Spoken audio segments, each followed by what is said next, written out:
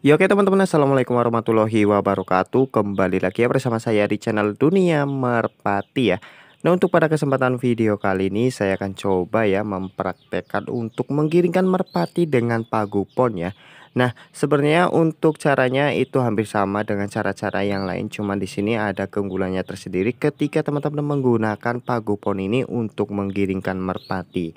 Nah apa aja sih manfaatnya itu? Jadi untuk teman-teman yang membutuhkan video kali ini silahkan ditonton sampai selesai ya biar teman-teman itu nggak salah paham apa yang saya jelaskan pada video kali ini dan bagi teman-teman yang baru gabung tapi belum subscribe silahkan ditekan dulu tombol subscribe-nya dan aktifkan tombol loncengnya supaya teman-teman gak ketinggalan jika di channel dunia merpati ini upload video terbaru seputar burung merpati Nah, oke teman-teman di sini ada salah satu merpati saya yang mau saya giringkan ya. Nah, ini juga merpati itu masih piyik teman-teman.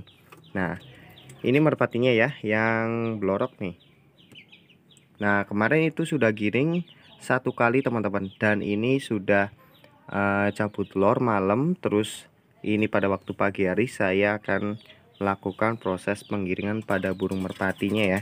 Nah ini ini sebelumnya sudah giring satu kali teman-teman. Tapi waktu giring itu memang giringannya belum terlalu keket karena mungkin e, merpati itu masih piyik ya itu salah satu penyebab kenapa kirinya masih kurang keket. Dan yang kedua itu mungkin karena baru giring juga dan masih muda juga burungnya. Biasanya kalau burung masih muda dan baru kali pertama giring itu memang giringannya itu belum terlalu keket ya. Dan kali ini ini mau giringan yang kedua ya. Dan ini saya akan melakukan proses penggiringan dengan pakupon ya. Nah jadi simak terus videonya biar teman-teman itu nggak salah paham nantinya ya. Nah nih. Aduh kencang nih pintunya. Nah ini dia teman-teman ya. Nih. Merpati blorok yang masih piyik nih. Tuh. Nah, pertama-tama apa saja yang dilakukan untuk menggiringkan merpati ini? Oke, seperti biasa untuk langkah pertama ya, kita mandikan dulu merpatinya, keduanya antara jantan sama betina kita mandikan dulu. Terus kita jemur teman-teman ya. Dan kita akan mandikan dulu merpatinya. Nah kita mandikan dulu ya Yang pejantan teman-teman. Nah ini Lagi penjawat juga teman-teman tuh. Lagi penjawat Kecil banget tuh. Ya Nih. Ini kalau giring pun saya Passing jarak dekat ya. Soalnya ini posisi penjawat itu sangat berisiko sekali kepada merpatinya. Nanti kinerjanya biasanya semakin menurun kalau kita paksakan merpati yang lagi penjawat ini kita latih secara keras ya atau secara seperti biasa teman-teman ya. Nah ini lagi penjawat jadi ini merpati sudah rampas satu ya nih. Sudah bisa dikatakan rampas satu teman-teman. Nah ini juga eh cuaca masih mendung teman-teman ya. Belum terlalu panas jadi kita mandikan. Jangan terlalu basah banget ya. Yang penting bulunya itu terkena air semuanya secara merata ya nih. Jangan terlalu basah banget karena ini cuaca nggak terlalu panas teman-teman. Kalau panas ini saya mandikan uh, secara basah kuyup ya. Ini uh, bertujuan untuk merilekskan merpati yang habis cabut telur biasanya kalau merpati itu habis cabut telur itu rawan terhadap stres ya. Nah caranya kita mandikan seperti ini agar merpatinya itu lebih rileks teman-teman ya. Nah ini saya mandikan seperti ini aja ya. Terus kita masukin dalam kurungan dan selanjutnya kita mandikan juga yang betina ya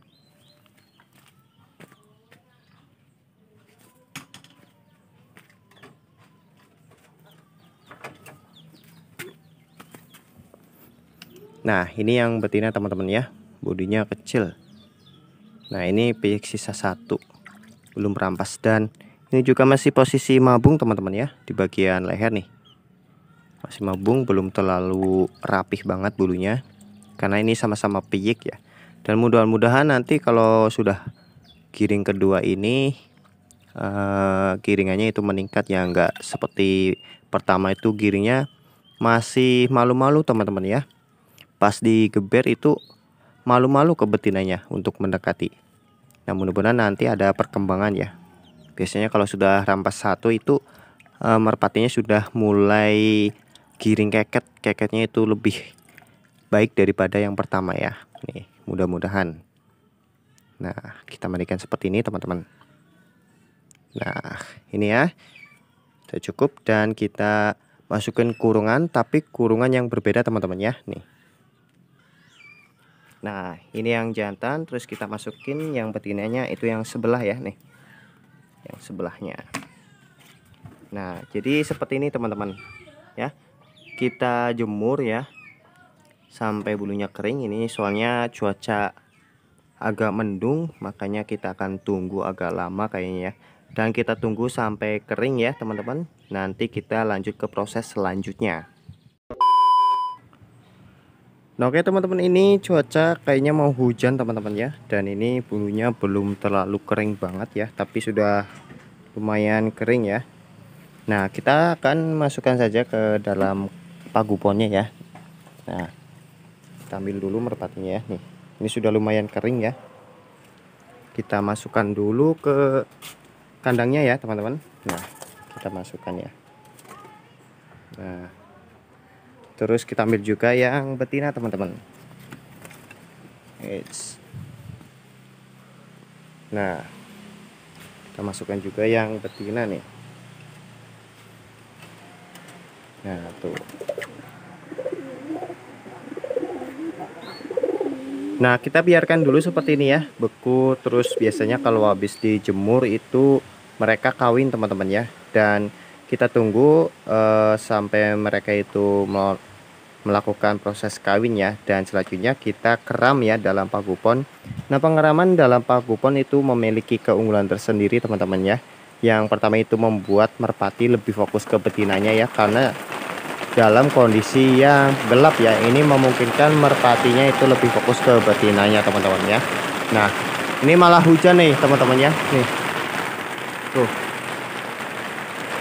nah ini keburu banget tadi ya diambil ya. Ini kalau nggak diambil tadi kehujanan teman-teman ya. Nih. Nah. Nah jadi itu keunggulan yang pertama ya. Agar si bejantan itu lebih fokus ke betinanya. Dan keunggulan yang kedua yaitu apa? Mempercepat proses penggiringan teman-teman ya. Nah itu keunggulan yang kedua ya. Bisa mempercepat proses penggiringan ya. Dan setelah tahap ini selesai teman-teman bisa gunakan yang namanya merica ya Nah saya juga masih gunakan merica tapi nggak banyak teman-teman. Cukup satu butir ya untuk si pejantan dan satu butir juga untuk si betina ya. Ini bertujuan untuk meningkatkan birahi pada merpatinya ya untuk penggunaan merica ini. Dan banyak juga manfaat dari merica ini untuk merpati ya. Dan bagi teman-teman yang ingin mengetahui apa aja sih manfaat merica bagi merpati silahkan tulis di kolom komentar. Nanti akan saya buatkan videonya jika teman-teman membutuhkan video tersebut ya. Kali ini saya akan suapkan dulu merpatinya satu butir merica ya untuk meningkatkan birahinya ya nih teman-teman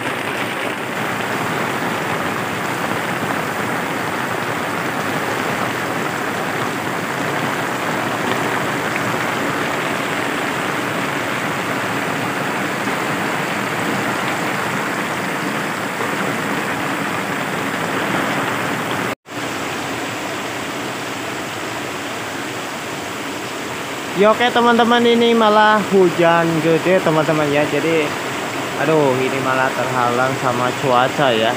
Kirain mau panas nanti eh malah hujan beneran ya. Dan ini di depan kandang malah banjir teman-teman. Nih kita lihat sekeliling ya nih. Banjir teman-teman. Nah mungkin kita lanjut di next video ya besok ya teman-teman untuk cara menggiringkan merpati dengan pakubon ini. Jadi untuk pada video kali ini mungkin cukup saya ini saja karena ini cuaca yang tidak memungkinkan dan kondisi yang kurang jelas juga untuk pembuatan video ya. Jadi saya lanjut besok teman-teman ya. Jadi bagi teman-teman yang sudah menonton sampai saat ini terima kasih ya. Dan jangan lupa support terus channel ini supaya channel ini itu makin berkembang dan selalu memberikan informasi yang bermanfaat seputar burung merpati. Dan saya akhiri saja. Assalamualaikum warahmatullahi wabarakatuh